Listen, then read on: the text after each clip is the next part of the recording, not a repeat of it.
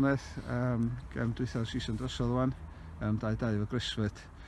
Swy gem oeddech chi'n meddwl oedd Um, dwi'n meddwl nath ni ddechrau reit da, um, ond y tempo, ta ma 3G mi swtio ni, cos da ni'n licio um, chwarae pel a lawr a chwarae pel, i, chwarae pel yn sydyn a switch o play. Ond um, dwi'n meddwl nath ni ddigon hynna first half, um, switch o play, oedden ni'n ni trio mynd gormod yn syth amdan y pel fyny top yn lle bildio ac so ddim yn gweithio then um, tom yn ôl rwnd yr ochr arall, ond um, na, to, oedd o'n, nes i'n o'r gem achos, obviously, mae'n lot o cya yn y Welsh Prem yn 3G hefyd, felly oedd o'n good practice at season nesaf hefyd, ac um, to, oedd o'n anodd i motivate i rei o'r hocio, achos mae, to, um, rhan mwyaf am dallan i Manchester heno, felly, um, So mae lot o meddyliau rogia ar hynna'n barod, cos oeddwn ni wedi o'r lig, ond um, un peth oeddwn ni eisiau gwneud siŵr, oeddwn ni eisiau colli'r gêm, achos gyda ni'r unbeaten run mae wana, gyda'n bwysig gallai i cael ymlaen hwnna i fewn i'r Welsh Prem blwyddyn nesaf. Ie, nath ni ddechrau dda, do, um, ar dan i digwyr. A gath gwli nhw gêm dda, nath o dipyn o sefis, do. Mm -hmm. um, I di gwir sy'n gallu fod i fyny, 3-4 gol i erbyn half-time. Um, e. nath ni'n codi calon nhw, do. Um, O'ch ti tîm o'r llael hanner, oeddwn ni slo allan? Um, Oedd eto, dwi'n meddwl, oedd y final ball yn y final third, fath oedden ni di first half, yr un peth, fyd, um, mm.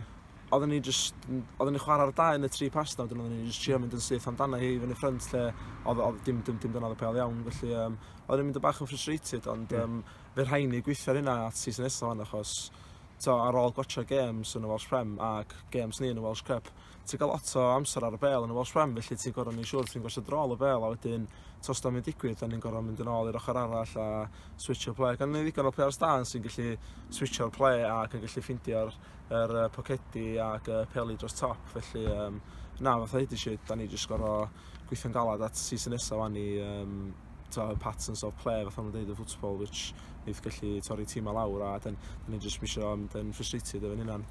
Ie, yeah, oeddech chdi ar y tîm nath curo'r gyngrair uh, dwy fynadd yn ôl um, Graham Austin nath um, codi'r gwpan yeah. nos oedd yna de. Uh -huh. Sut ydych chi teimlo yn mynd yna i godi'r gwpan flwyddyn yma ac oedd yna dipyn o, o cefnogwyr o Gynarfon wedi, oedd yna special? Oedd, oedd o'n real special. Uh, Tyna nath ni ddod allan i'r gêm a wedyn nath ni gael o'r tîm hydl ac oedd y fans just yn...